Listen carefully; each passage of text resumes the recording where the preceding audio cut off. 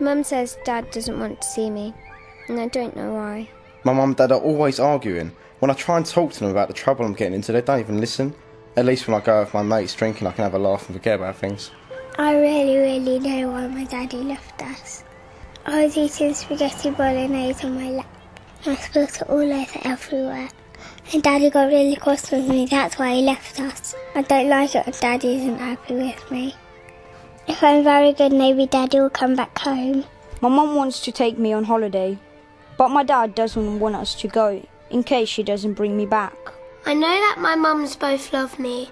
I just wish they stopped asking me who I love more. I'm not allowed to talk about my mum at home, and that makes me sad. I don't want to upset my mum or dad. I want them to listen to what I think, but I don't want to have to choose between them. I live with my granddad because my mum couldn't look after me. My mum says she's better now and wants me to live with her, but my granddad says I can't. I don't like it when my mum keeps asking me about my dad's new girlfriend. When I go and see my dad, he gives me meat and I have to lie to mum. I should be able to decide for myself. I just wish mum and dad would stop yelling at each other. I tried to tell them, but they don't listen to me.